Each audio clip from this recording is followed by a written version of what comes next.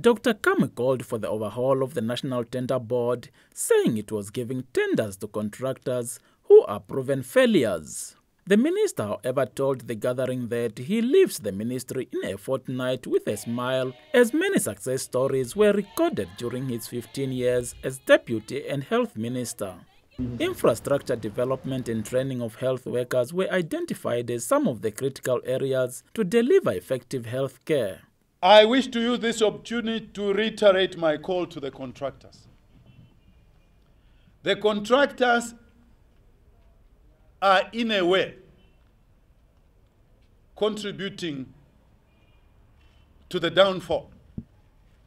Instead of us moving forward,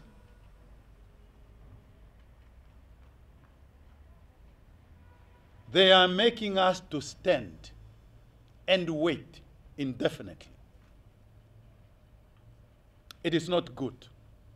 The so called BEE But they must be warned.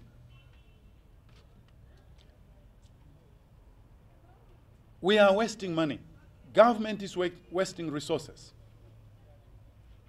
I will share with you some clinics in this, in this region where we are, unfinished, as a result of greedy.